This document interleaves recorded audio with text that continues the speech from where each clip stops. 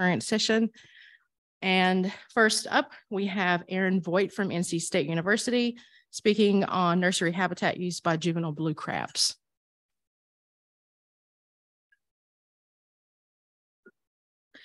Thank you, Erika. All right, so as most of you know, uh, nursery habitats are incredibly essential because they promote the survival of juveniles into the adult population. And because of this, they are often um, important targets for both restoration and management practices. However, I don't think I need to tell you guys, often the funding and resources for these um, restoration and management uh, groups are limited. And so therefore we need to come up with a standardized framework used to properly identify what is and isn't a nursery habitat, as well as value them when there are multiple habitats used. Uh, two particular frameworks that I'll be referencing in my study today are the nursery role hypothesis, which was coined by Beck et al. in 2001. And it defines the nursery habitat as the habitat which provides the greatest number of individuals on a per unit area basis to the spawning stock. And so in this very simplistic um, example I have right here, habitat A would be the nursery habitat using the nurse, nursery role hypothesis. And it should be stated that here we are assuming that both habitats have an equal contribution to the adult population. However, there's another framework um, that came from Dahlgren et al. in 2006, and that's the effective juvenile habitat. Here, this defines um, the nursery habitat as the habitat which provides the largest proportion in total to the spawning stock. Um, and so here, while you can see that the crab numbers within the you know, meter quadrat in red are the same, habitat B would actually be the nursery habitat in this example because the total amount of juvenile crabs is greater. It should also be noted that in the effective juvenile habitat, the dispersal forces play a major role. So again, we can see that the amount of crabs in the red quadrat are equal or are the same as in the first example. And while the habitat area is also the same, the total number of juveniles is greater in habitat B because they're more equally distributed across the habitat. So this gets into the overarching objective of my research, which is to understand how habitat characteristics and species distribution patterns affect nursery habitat distinction within these frameworks. Uh, to do this, we're going to use the uh, North Carolina blue crab as our model species. It's a great model species for looking at something like this because it's both valuable um, both economically and ecologically as uh, if you guys got to sit in on the blue crab and seagrass talks earlier today they did a great job outlining this. Um, the fishery is also in decline in north carolina. It's currently considered overfished and juvenile blue crabs use multiple nursery habitats within coastal North Carolina. And they also have complex distribution patterns. That makes them really interesting at comparing these uh, differing habitat frameworks. So a quick introduction, um, if you did go to those earlier talks, they were focusing more on uh, Southern North Carolina. I'm focusing this study on the northern part of our coast, particularly the Albemarle Pamlico estuarine system. I'll generally refer to that as APES throughout this um, presentation. Quick refresher, this is going to be a large lagoonal estuary. It's very shallow. Um, it's dominated by high riverine input and very limited oceanic input, primarily through the inlets shown here, Oregon, Hatteras, and Ocracoke. And because of this, it is a primarily wind-driven system. So the tidal impacts are very small and are generally concentrated just around those small inlets. In particular, juvenile blue crabs use three particular habitats within apes. The first is going to be these eastern seagrass beds, and they're located on the back side of the Outer Banks. They're um, sometimes referred to as mixed seagrass beds because they um, take part, uh, they are partially filled up with Zostera, Halodule, and Ruppia. So you generally have a mixed species assemblage here.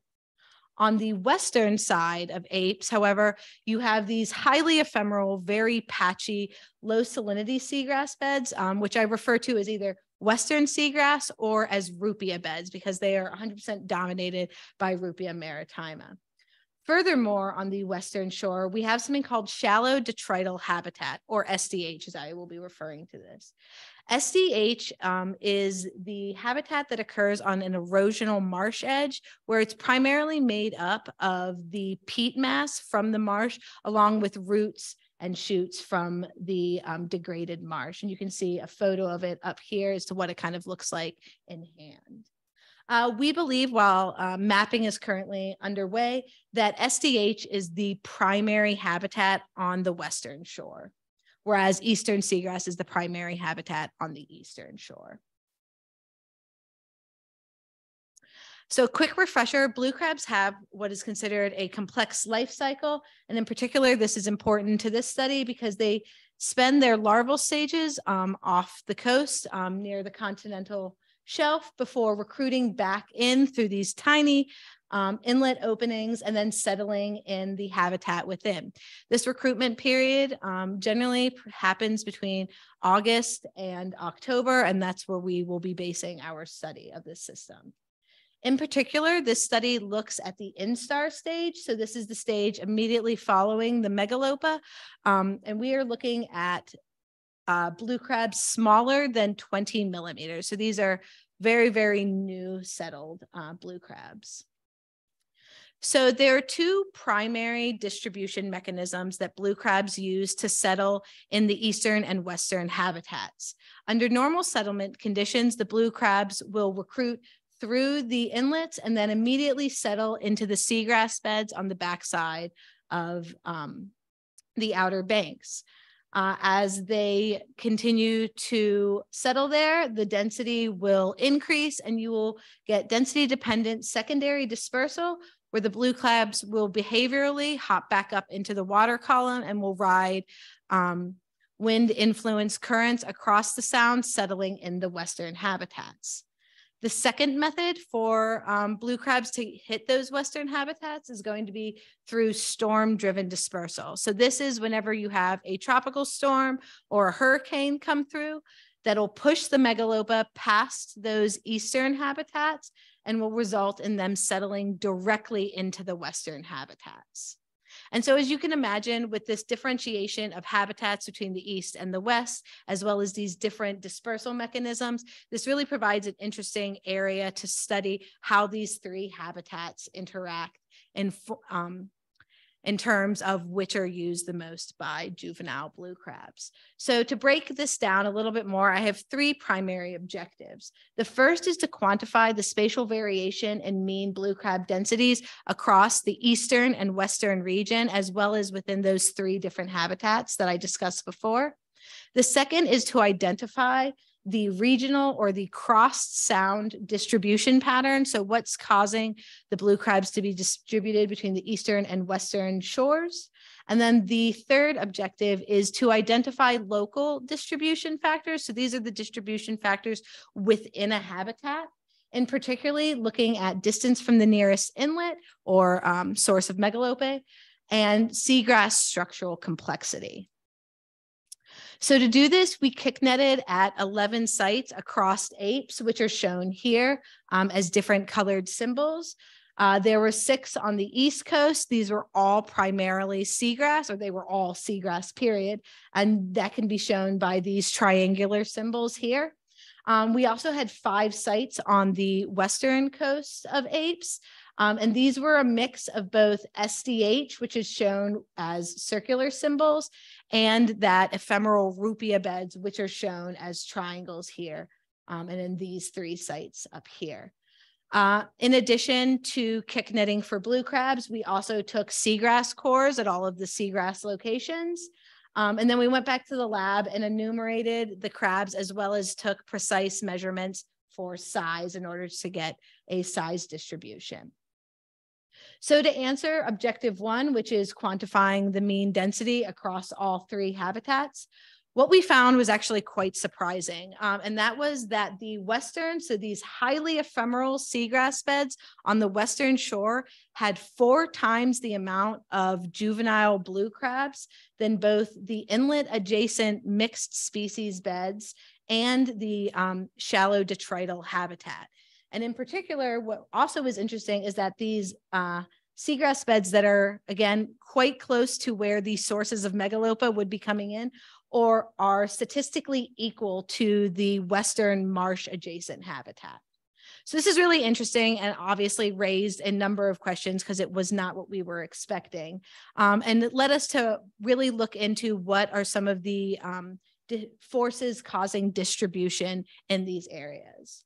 So the first thing that we looked at was what is causing the crossed sound distribution. So how are crabs getting to the western shore?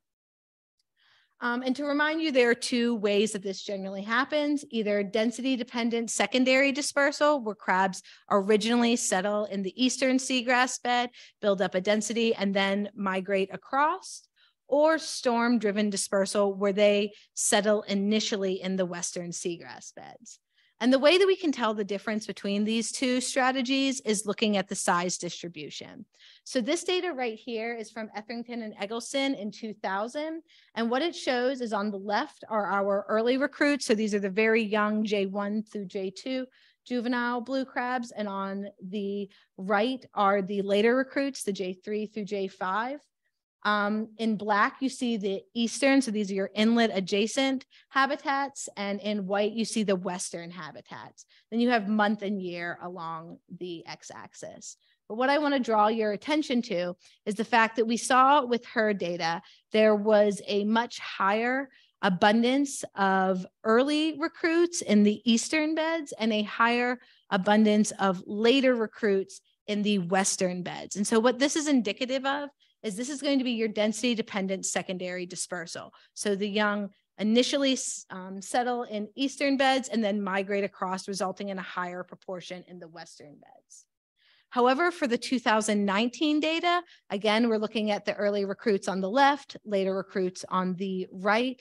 East is in black, west is in white, right. We found that there was no significant difference between um, the sizes here. And so what this is indicative of is storm driven dispersal. And this makes sense based upon our timeline because Hurricane Dorian hit approximately three weeks before sampling. And so this may have resulted in pushing a large proportion of early megalopa past those eastern habitats and settling directly into the western habitats. So that's kind of the first piece of this puzzle of why we might be seeing this really high recruitment on these western ephemeral seagrass beds is because we have some direct settlement occurring. Um, so that leads us to our third major objective is what's going on within each of these habitats. Um, in particular, how does distance from the nearest inlet, in this case, uh, sources of megalopa, and seagrass structural complexity affect uh, the blue crab density. And I'm going to say right now, we ran both of these things across all the habitats to break it down and make it a little bit easier. I'm just presenting the ones that are statistically significant. So here is a map showing the density of blue crabs um, spatially. Um, so the size of the circle relates to how many crabs were found there. The color of the circle relates to the habitat. So your bright green is your mixed bed eastern uh, seagrass habitats. Your dark green is your ruppia uh, western bed seagrass. And then the tan or beige is your SDH habitat.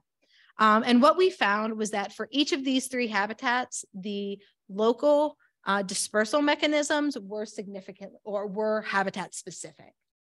So in, whoopsies, in our eastern um, mixed bed seagrass beds, what you can see uh, in this map right here is that you have really high densities of seagrass occurring directly next to the inlet. So the inlets are circled in red. However, as you move away, so into Rodanthe and then kind of into the elbow of Hatteras and Frisco, you see much um, decreased blue crab densities. And in fact, when we uh, chart these up, so distance from the nearest inlet with crab densities, we find that there is a very clear negative relationship that the blue crab densities decrease strongly as we move farther away from the inlets. It should be noted that we also did this in SDH and our western beds, and there was no significant difference or trend um, in those habitats.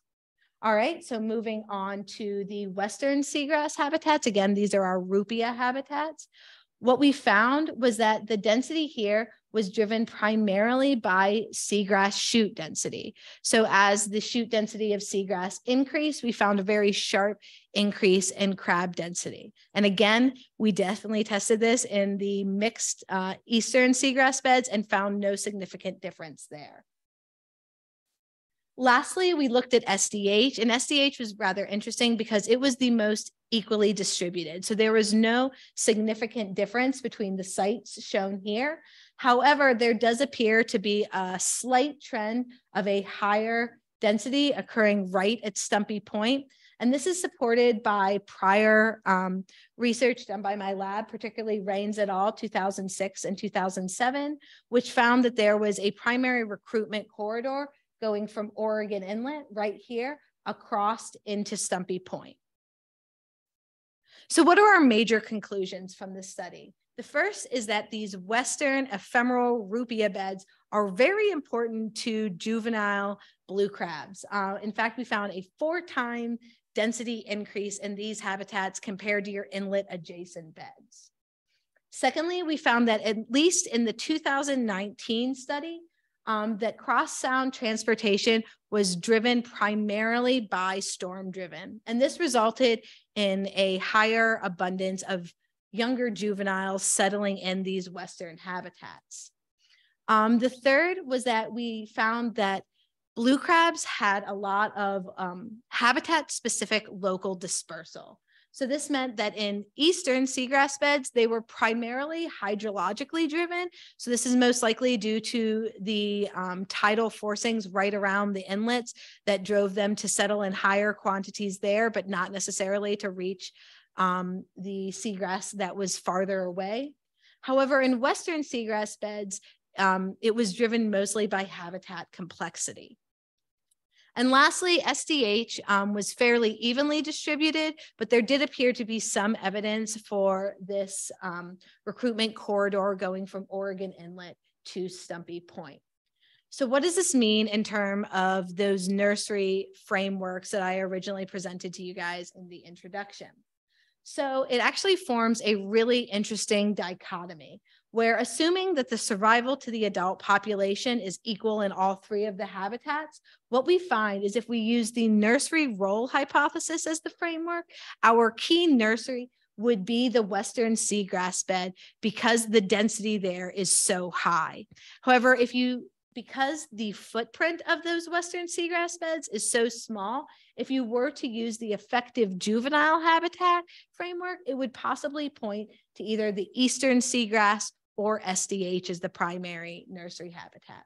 So this really points to the idea that when, um, as restoration or conservation managers, we really need to think about which framework we want to use, and in particular, what objectives we want to um, act out when we define what is and isn't our most valued nursery habitat. So with that, I would love to thank the Eggleston Lab um, who helped me do all this work, as well as all of my funding sources and ask for any questions.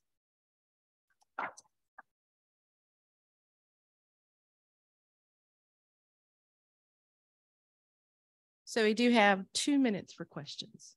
And if you will, please speak into a mic.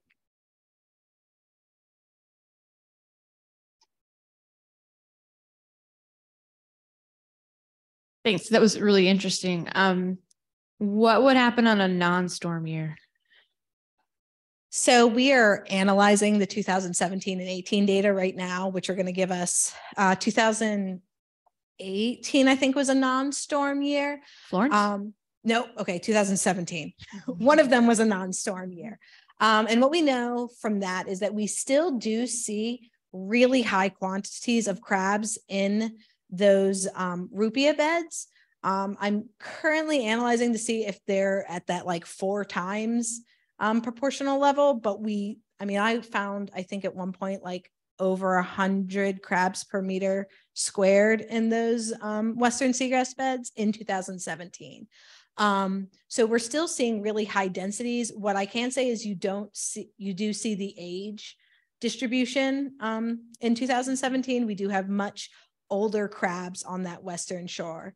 So my going theory of how the SDH and the ruppia beds work is regardless of the distribution, so whether it's storm driven or um, density dependent secondary, they basically fan out across the western shore. If they are lucky enough to come across the extremely ephemeral um, ruppia beds, they're stoked and a bunch of them settle mm-hmm. there. If they are not so likely to come into contact with one of them, they settle into SDH, but just based upon how um, the wind driven currents kind of push in that, what is it, uh, counterclockwise uh, cycle out of Oregon Inlet, I think a lot of them do get picked up from the uh, inlet adjacent seagrass and get pushed over to the western shore when they just kind of uh, flip a coin to figure out where they're going to end up.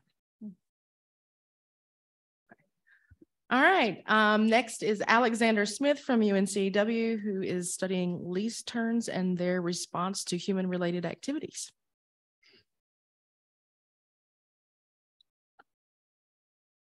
Uh, hello all, thanks for coming to my presentation. Um, yeah, so my project is on least tern disturbance responses to human related activities in Hatteras Island, North Carolina. Uh, so we've heard a lot about stuff going on kind of under the water in this case. I'm going to focus a little more on the air right now. Um, okay. Um, so for anyone that doesn't know, um, least terns are a, uh, a water bird that nests on the beaches. Um, so you can actually see here in these two photos, I have um, a nest with a single egg in it, and then one with, it's kind of hard to tell in the photo, which I'll get into a little bit why that is so, but two chicks actually there. Um, and so these birds uh, complete most of their breeding activity on these very open, unobstructed beach areas, usually very little vegetation, which allows them uh, the ability to see very far across this landscape, which they do for the purposes of being able typically to see their predators approaching from a lot of angles and from a great distance, um, which can typically be a really good thing for them. So they can respond to them. And being a colonial water bird, um, it allows them to kind of mob a lot of these potential predators. However, as you can imagine, this also means that they can see a lot of humans who also recreate on these beaches moving around. And as I'm sure you can also imagine, uh, humans are seen as predators in a lot of cases to these birds, which might promote certain disturbance responses if they do see us as a possible predator. Um, I'll also point out here that uh, these eggs and chicks, as you can tell, are pretty cryptically colored. Um, so it's kind of hard to see them on the beaches. Um, if you don't know what you're looking for, I've been doing this for years and I still have a hard time finding them now and then. Um, but once again, this is good for preventing, depredation. But obviously, if we allow people to just walk unmitigated or drive unmitigated, because these are driving beaches as well around this area, it's very easy to completely accidentally step on eggs or chicks for this species. Um, and so to try to limit that, uh, specifically Cape Hatteras and Pea Island National Wildlife Refuge, which are two of my study site areas, use what are called conservation buffers. So um, pictured here, literally just signs with string and flag between them to create a sort of fence, if you will, to keep people out of these areas to try to keep any like accidental uh, mortalities from happening in regards to these birds during their breeding season. Um, and so Cape Hatteras is funding this project um, because they um, are trying to test their current buffer sizes to see if those are adequate or if they need to change those to make them better to more adequately protect the species. Um, and so Cape Hatteras itself, their main goal, as stated here, is to provide for beach recreation, but also, of course, that necessitates an adequate protection of the natural resources, as this, at the end of the day, is a national park. Um, and these buffers, this the use of these buffers was initiated by a lawsuit, um, which helped them develop this uh, off-road vehicle management plan, um, and so all of that requires that all this data has to be based off peer-reviewed science, which is where myself and also my co-researchers enter into this. Um, and then the wildlife buffers also have to be of the shortest distance and duration throughout the breeding season. Um, and so currently these buffers are 100 meters for eggs and chicks, based off, as you see, a study from 1989 completed by Erwin, which looked at a very short uh, window over their breeding season and also at many different spots throughout uh, North Carolina and Virginia that didn't just focus on Cape Hatteras. So my study area, as I kind of already mentioned, is at Pea Island National Wildlife Refuge. And you can see some of our colony locations uh, for a few years in the circle, the blue circle there. And then also obviously uh, Cape Hatteras National Seashore, and which you can see some colony locations that we've used um, over these past two seasons as well. So I have three main null hypotheses that I'm testing for this project, or at least that I'll talk about today. Um, one is that these uh, buffer designs that 100 meters do currently adequately protect the birds. Um, also looking at different types of disturbance. So like I mentioned, they have pedestrians, vehicles, even different types of vehicles, um, non-human related sources of disturbance, if these differentially affect the birds. And then perhaps one of the more important questions is, do they habituate to people, right? Can we get to a point where the birds see people enough that we can actually shorten these buffers even more? So breaking this down into the two different field seasons, I had two different types of study designs here. The first season in 2021 is more opportunistic. I'll get more into 2022 in a little bit. So in 2021, I took this kind of three-pronged approach, three-pronged approach. Um, we counted the number of human-related. So this includes things like pedestrians, uh, dogs on or off leash that are obviously like domestic dogs, I'm not talking uh, coyotes here, um, and uh, vehicles. And then non-human related is pretty much anything else. Um, and then specifically counting anything within 150 meters of the closest edge nest, which once again is based on this paper that the current buffers are based on uh, Erwin 1989. Um, we also watched nests for up to 10 minutes and recorded any and all opportunistic responses to disturbances to try to get um, a good comparison between natural or non-human related and human related sources of disturbance. And so the, our three main uh, response variables are pictured here. So to kind of explain these real quick, agitation and flight initiation distance is the distance at which a source of disturbance, say a person, was to the nest when the bird either showed agitation behavior or took flight off the nest, or chicks for this matter.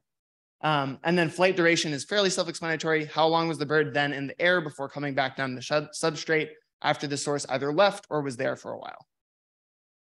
And then we also followed uh, the NPS during their usual uh, daily monitoring activities. Since they're already potentially disturbing the birds, doing, I will say not greatly, but potentially disturbing the birds as they drive by, we were able to use this GPS track log to establish very um, verifiable distances at which the birds may respond to their typically trucks or UTVs. So um, first looking at these potential sources of disturbance, um, I want to first pull your eye to the fact that I do have a pretty severe axis break here. And that is due to the fact that um, those two rightmost colonies, pole 47 and 57, were pretty much roadside. Um, so those numbers, this is throughout the entire season, those numbers are the amount of traffic that went up and down Highway 12 within about a three hour period each day throughout the entire summer that we were out there. So um, that's why I have that break there because otherwise you wouldn't be able to see any of the other data um, below there. But you can see beyond that, the main breakdown comes into uh, natural sources of disturbance, um, pedestrians and ORVs are kind of the three main ones there.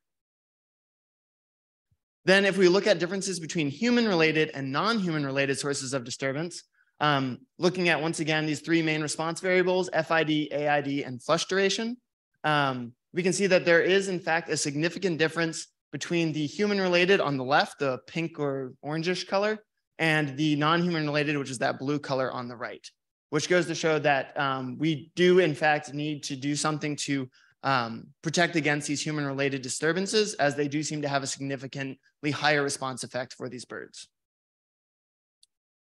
Then looking at habituation just in 2021, um, I've included a line here so you can picture where that 100 meter buffer currently sits. Um, you can see that most of the non-human related disturbance responses are below that line um, and that there's a general up curve throughout the season until about halfway in which it seems the birds tend to um, have this like slow denouement uh, towards the end of the season as they uh, respond at lower levels.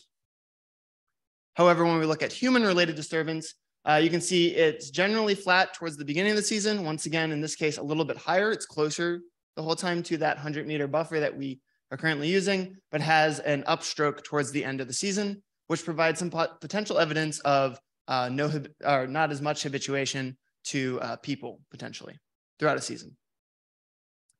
Then in 2022, um, we focused it uh, more on uh, manipulated treatments. So instead of these opportunistic um, observations, we actually approached uh, with our own researchers um, as pedestrians and off-road vehicles and also passed by colonies and nests.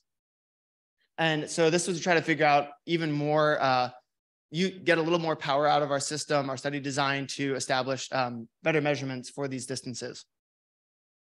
Um, we also, once again, use those incidental disturbances um, using the NPS, and even in this case, our own research uh, interactions with the birds as we completed walkthroughs to take nest counts um, to try to bolster the data set without creating any more disturbance than was necessary. Using that track log once again, uh, we were able to get down to an accuracy of about three meters, uh, give or take. Um, but this time we only focused in Cape Hatteras, not in Pea Island. So uh, just three colonies in Cape Hatteras. So um, this is probably the biggest takeaway I would like everyone to kind of take away from this talk. Um, so combining both the uh, flight initiation distance, so the distance at which the birds responded with flight, and combining some data, which you can see as censored points, which are these kind of uh, crosses or hashes along the line, um, are data at which we approached the nest very closely, but there was no response from those birds. So combining these together, we're able to build these response distance probability curves um, and so you can see here generally for all three of these even, um, not much of a response from between 300 and 200 meters. Um, but once you approach that kind of 100 meter buffer that as it currently exists, perhaps even to the 75 meter area, we see a fairly sharp uptick in the responses of these birds. And then uh, except for the pedestrian approaches, a bit of a plateau um, once you get to around the 50 meter mark.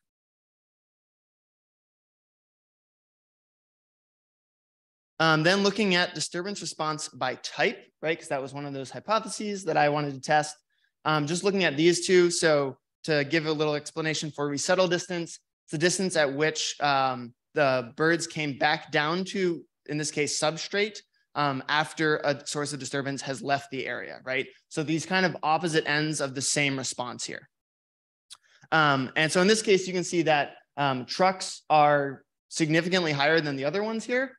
Um, and generally, we did have a significant difference across all four of these types. Um, but when you actually pull it out, it's really just like trucks that seem to be that one that um, are uh, significantly different from the rest. Um, I will point out that Jeep, we kind of did a few at the end to make sure it wasn't just our truck that we were using consistently throughout the whole time that was creating these different differences. Um, and Jeep was, in fact, a little bit lower. So I would say, if anything, it doesn't show a lot of evidence that the birds are habituating to like that specific white Ford truck. Um, but honestly, more data is needed to completely say that with much confidence.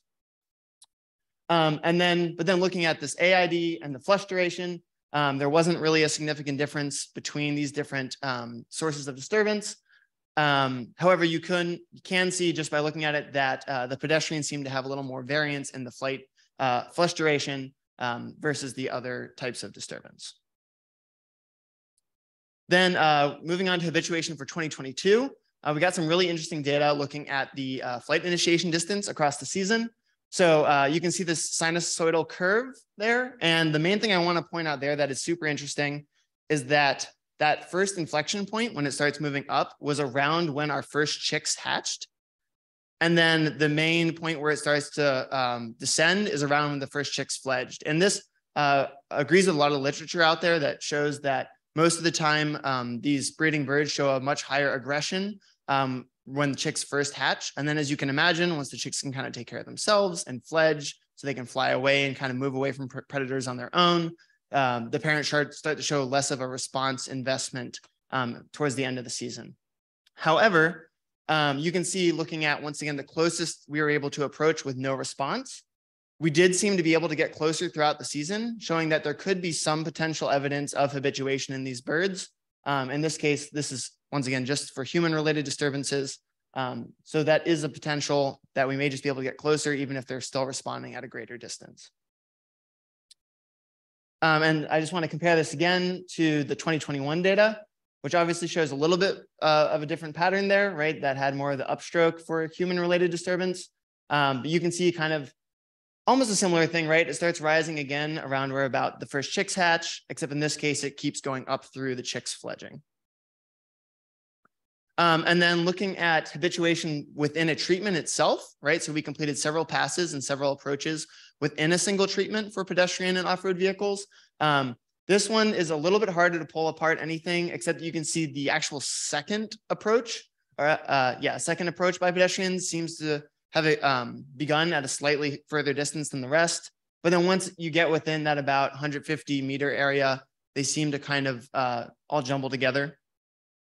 However, looking at pedestrian passes, oddly enough, you can see that uh, four is our first pass. So it's the fourth part of our treatment, but the first pass of each of these um, is, is um, higher than the rest. So the birds are responding at greater distances for the first pass, but then they all kind of um, jumble together for the last three there. Um, so this also kind of goes along with a lot of the literature out there that shows that birds can commit this dread response where they kind of freak out in the beginning, but then uh, settle down a little bit more after that. And then off-road vehicle passes, um, you can see it's it doesn't have necessarily a clear pattern there. So some general conclusions. Um, the number of potential sources of disturbance does vary by colony quite a bit, but is not necessarily a good predictor of responses. Um, least tern disturbance responses to human-related activity does have a sharp uptick around that 75 to 100 meters. And the specific disturbance itself, right? So pedestrian versus truck versus Jeep versus Jeep um, has a fairly great influence on how the birds respond. Um, and just to bring that back to, uh, I realized I forgot to mention this. Um, if you saw the birds responded to trucks less of the time, if you looked at the sample size, but when they did respond to those trucks, it seemed to be to a greater degree, which is an interesting point there. And there uh, is some evidence of potential habituation, um, specifically looking at that 2022 data. However, this can be hard. Um, it could be potentially confounded by these interspecific factors, such as the time of the season um, based on whether there are nests or chicks present, or fledglings for that matter. Um, and so uh, generally, I would like to thank uh, Cape Hatteras National Seashore with the Park Service for uh, funding my project. Um, also, the U.S. Fish and Wildlife Service, specifically in Pea Island, for working with us uh, throughout uh, both of my research seasons and being excellent collaborators and always willing to help us out when possible. And then the UNCW Danner Lab, um, you can see my advisor and co-researcher uh, pictured there, as well as Ali Best and Jose Francisco, who are our technicians for both summers. Uh, we could not have done this without them. We uh, there were a lot of nests to gather and collect data on both summers, and I am in incredibly grateful to all of them for being such a great team.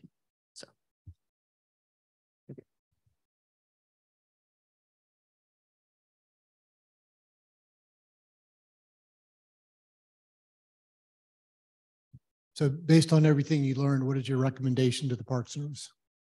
So we're still kind of, this is, this data is still fairly preliminary. Um, so I quite frankly don't feel completely comfortable making a recommendation at this point. Um, considering I'm on Zoom and I don't know who's watching, um, I would rather not make that statement. Um, but the biggest thing I would say is that looking at the data as we currently see it, it does seem like at least the sharp uptick in the response around that 100 meter area seems to relate to me that there could be good evidence that that current 100 meter buffer, um, as it currently stands, is potentially a pretty good uh, starting point, at least for these buffers. Mm -hmm.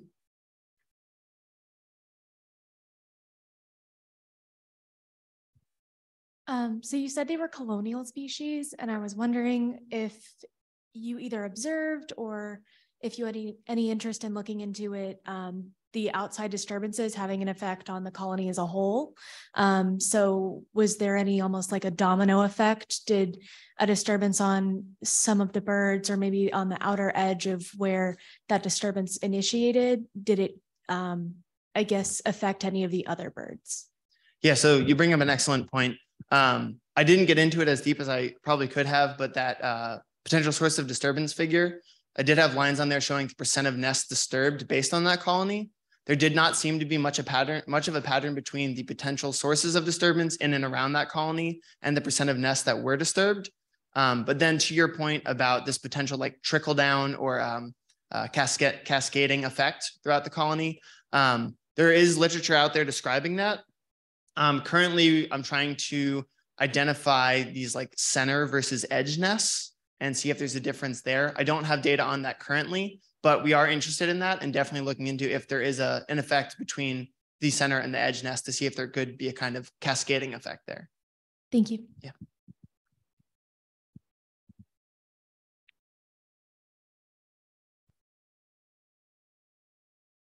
Cool. Well, thank you, everyone.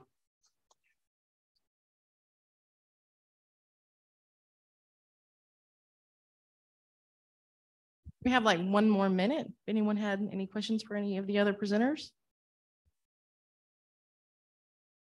Did you get mobbed? By chance? Oh, I did, yes. You did, They- they like right? Yeah, so that was fun. Nice christening. Yeah. exactly. Great.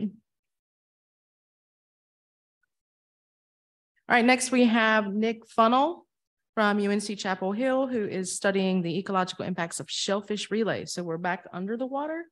All right.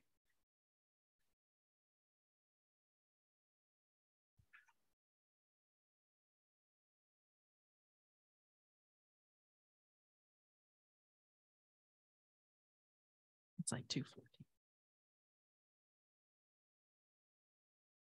Uh, well, thanks for coming out. And as we draw towards the end of the conference, I appreciate you coming. Uh, yeah, I studied the impacts of shellfish relay in North Carolina, which for those of you who don't know, which was me before I undertook this project, is um, this along. It's transplanting of shellfish from polluted up estuary areas generally to uh, oyster leases downriver, where you let them clean themselves off for about four to six weeks, and then you can send them off to the general public.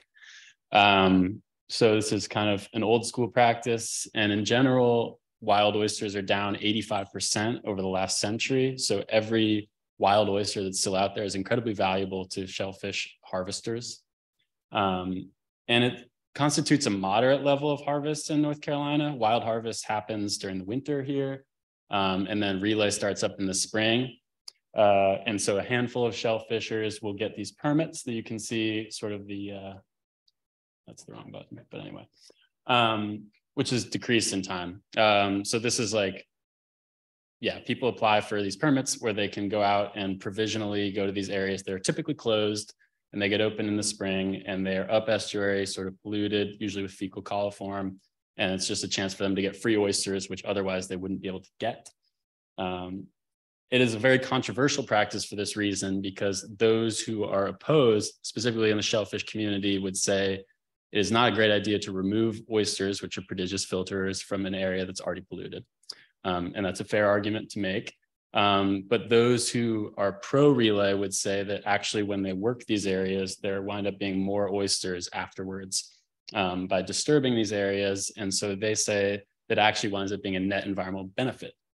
Um, and then there are also a fair amount of other arguments to be made about public trust acquisition and uh, like governmental expenses because they have to very closely watch these people um, because of the delineation zones. Like if you go too far upriver and it's a fully closed area, that's also a no-no.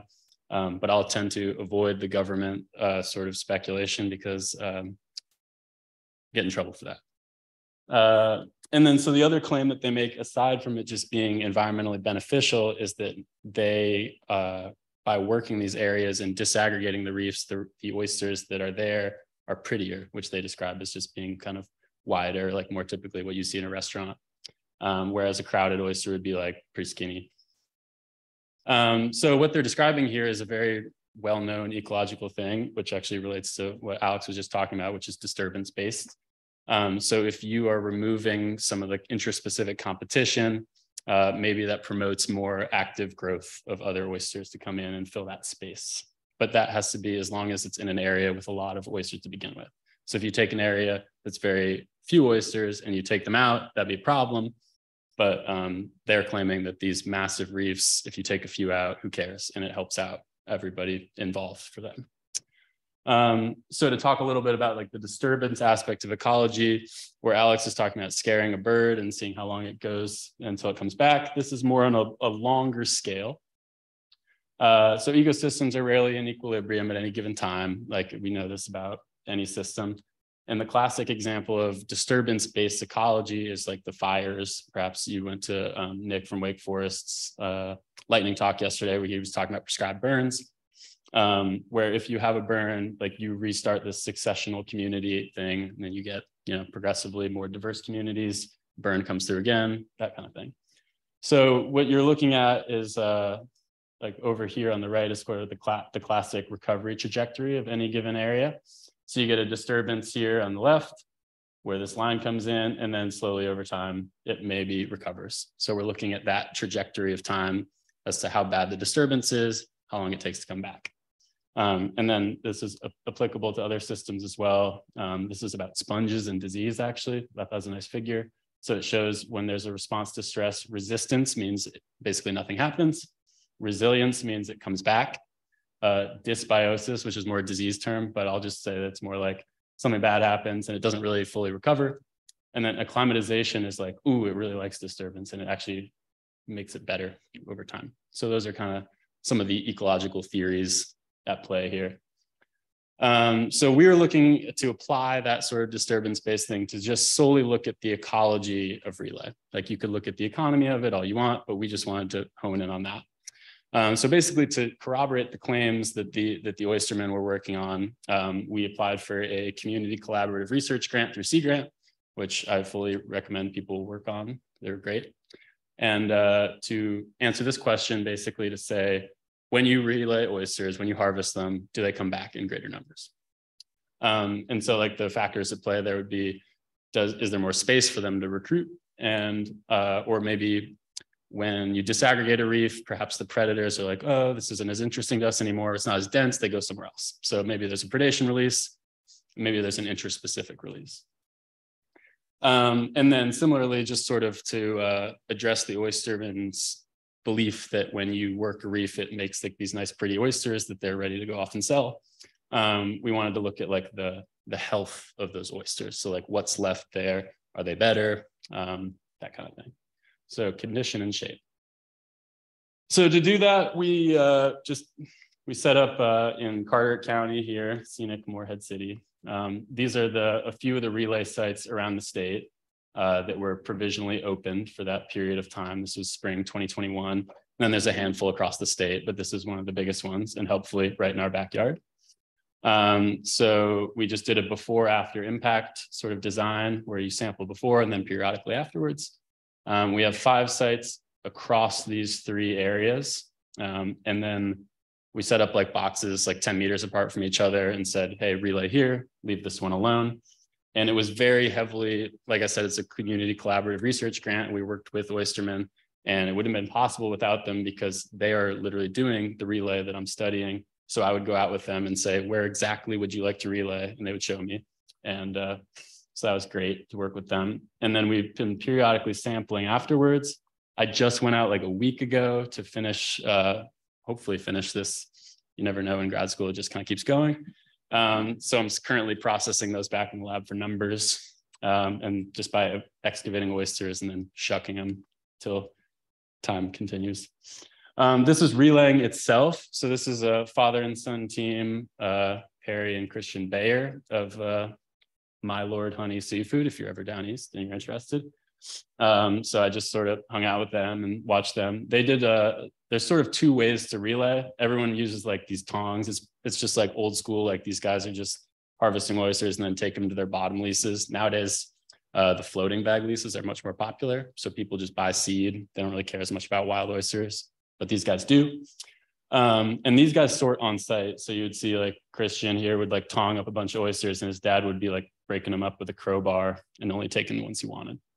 And people in the, a different site would just take everything they could because they're sort of time limited. And they're like, well, I'm here, might as well get what I can. Um, so I just sort of hang out with them and watch. And they remove like a moderate amount of oysters. Like it's really not as much as you'd think. Um, so, you know, nine bushels in a five by five meter box, fair amount of oysters, but not that bad. And so what did we find? We found that over time, it doesn't have that much of an impact. So we started off and just by chance and perhaps favorably to the shellfishers, our paired relay sites had more oysters to begin with. So I'd rather have them relay there than the lesser sites. They've been mad at me. Um, so there's a temporary drop here, but like there's pretty big variability. So it's hard to say over time as to whether there is a steep drop based on relay activity because there was also a pretty steep decline in the control sites. So that could have been any sort of um, environmental thing that could happen. Disease has been a big problem over the past couple of summers in North Carolina, so that could be a factor as well. Um, so you can kind of say over time that there was a little bit of a drop, but relay doesn't make that much of a difference because these are these numbers are still exceedingly high. You're looking at about 650 oysters per meter square, and those in ecology sometimes say that even having 10 per meter square is a healthy reef. So like these reefs are still booming. Um, interestingly enough, I wouldn't stake my career on this because this is an N of three and this is an N of two. Um, but these are the folks who sorted on site and these are the folks who just removed everything. Uh, this is pretty much your classic no interaction over here with the parallel lines going. Um, and over here where they're removing everything, you definitely see like that big drop and then a little bit of a recovery, but not to regular levels yet. So there's some evidence that, you know, if you can take the time to sort on site, you should. But unfortunately, that nowadays the harvest is so heavily regulated, they are only allowed to go out two days a week when they're going. It used to be five days a week. Um, I don't want to get too much in the government stuff. you can find me later. Um, legal oysters, similar story, pretty much. Like this is what the those guys care most about, um, so that they can get them out to market. They still have yet to recover, but also, you know, there hasn't been that much of a difference in the others as well. Um, so if we're thinking that one of the drivers of change would have been recruitment, this is a measure of small oysters that have settled over time, no real difference. So, and that disaggregation did not lead to, uh, you know, extra recruitment. Um, this I did a, a, measure of how many, like what proportion of the oysters in an entire quadrat came clustered, which I just counted to be like more than one, so couplets, whatever um, and a pretty strong like initial disaggregation and a good recovery. So they they get back together pretty quickly to be a robust reef. And then on the claim that uh, they are wider when you work them, uh, I want to anecdotally point out that these two oysters were from the exact same plot. And here's like the, the one they don't like, and here's the ones they do like. So it doesn't seem to be much of a difference. Um, and the graph kind of backs that up too. Like maybe they converge a little bit, but error bars would say no difference. And honestly, it seems like the biggest, what we've seen from other studies as well, like the biggest driver of that shape is uh, intertidal versus subtidal. And we're upriver at this point anyway, so they're all subtidal. so it doesn't much matter. Um, yeah. And then this is a, met a metric of oyster health uh, condition index. So you basically, you shuck the, you like measure the whole oyster, shuck it, take the dirt tissue out, cook it down, and then it's like the dry mass over the wet mass. So basically like how much resources the oyster is putting into tissue. Um, and that's like a metric for health. Otherwise it'd be like shell or it'd be watery and not that good for the consumers. Uh, no real difference. Um, then the other metric that could have been responsible for uh, like disturbance-based stuff would be predation. The main predator of oysters, um, well, humans, but sponge. Um, and boring sponge is only really doing well in salinities of like above 30 pretty much. So you'd see them to be a huge problem when people are trying to restore oyster reefs in uh, subtidal salty areas. Upriver, we're looking at like salinities in the 20s. So it's not really that big of a problem for them. Um, so we didn't really see any difference of like abundance of sponge or like how far up the shell the sponge uh, signs would go. But we also found very little sponge to begin with. Like so, that seemed to be like it didn't really trigger any kind of that like classic disturbance. Um, so to conclude, as you've been kind of seeing along, a lot of a lot of no results, which is always fun. Um, so it does relaying uh, these oysters increase the abundance over time? No, but also it doesn't really substantially decrease. So it doesn't really seem to be much of a problem. Doesn't really boost like uh, some of the oystermen might have thought, but also not a big deal. Um, so the drivers we would have expected, no real recruitment boost, no real predation release. And then on in terms of uh, like how good the oyster is, not much of a change either. Doesn't make them worse, doesn't make them better. It just kind of is. Um, so to take away from this, this is uh, where, where I've been working upriver. So here's our little boxes. Um, and this is a big intertidal reef, but now imagine everything out here is subtidal. So it's, it's very dense, like that density, but um, subtidal oysters. Um, so as we saw here, like the actual relaying that these people do in Carteret County, um, it does temporarily disaggregate the reef and then that kind of comes back, but it doesn't really trigger any kind of big recruitment boost or reduce predation. Um, so you don't get like the benefits of disturbance, but you also don't really have much of a problem either. Um, relaying is a definitely declining practice in North Carolina. Also happy to talk more about that at some point too. Um, but this this generally can apply to relay in any other state along the East Coast or any form of wild harvest. Um, any kind of practice, like if it's just a moderate sort of pulling from an environment, like it's not really very detrimental, which is very good to know when we've lost so many oysters um, over the last century. That by taking them out, it doesn't make that big of a deal as long as you do it sustainably in high larval areas. Um, and then beyond my relative expertise of the ecology of it is like it's very important going forward to determine the cost and benefit to harvesters and coastal stakeholders of these areas um, amidst the context of coastal squeeze. And what I mean by that is that if oysters are doing really well upriver, here's the close. So here's the three designations of harvest, right? In the winter, this blue area is uh, you can take it as much as you want. This one is the relay area, and this is closed waters. Currently, their lease is operating like right on the edge there. And this is actually one of the guys we worked with most closely. And that line has moved from here to there over the past like decade. It's not going to move backwards. So like basically we're finding uh, that oysters, wild oysters are doing well here, but they're, they're polluted waters because ultimately this is a land use issue. This is a water quality issue. And uh, like the local governments been, and shellfishers have been arguing about like whether relay should continue or not. But really the problem is that like the water is too polluted for them to be able to actually access this resource. So it's not their fault. It's nobody's fault on the coast.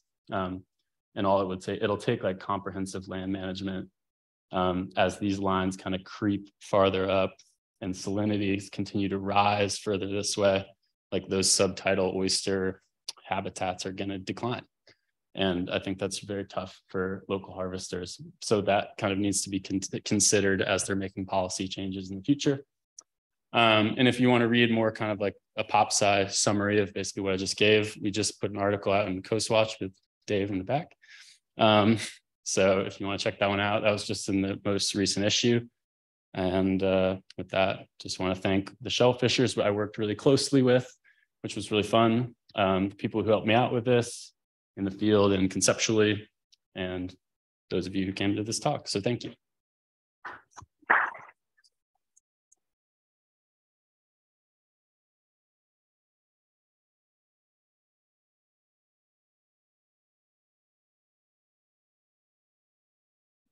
Hey, um, thank you. I just want to question, you mentioned, um, that they on average removed about eight bushels per lease. Is that, is that how much they removed when they did their relay? And that, was that limited by your study or is that typically how much they take out of a closed area? That was just how many in that five by five meter box. Like throughout a whole day, they would take many more. Okay, But that's just like on a very small patch scale. Yeah. Okay, thanks. Hey, thanks for your presentation. Um, I'm curious, so with the results you showed, is that just from a, a plot that you monitored corresponding to this father-son pair where they were harvesting? Yeah.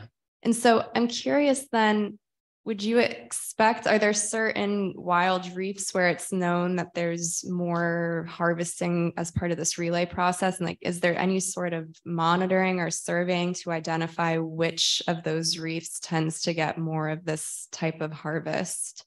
Yeah, that's a good question. Um, yeah, that's kind of what's missing from this is like the the prior years of uh, what happened beforehand. We kept this um, undisturbed through two relay seasons, so this is sort of what happens over time at just like one small patch. Um, but given the small size of these areas, yeah, they do like revisit a lot of these sites. Um, but the the reefs are so extensive and and dense that they don't. I don't think that they are harvesting like the exact same spot like year to year like they're harvesting in the same area and so i think when they were talking about like oh yeah we flattened this area like we totally got rid of all the oysters one year and then the next year there were oysters um, there may have been moderate response but they also may have missed some patches you know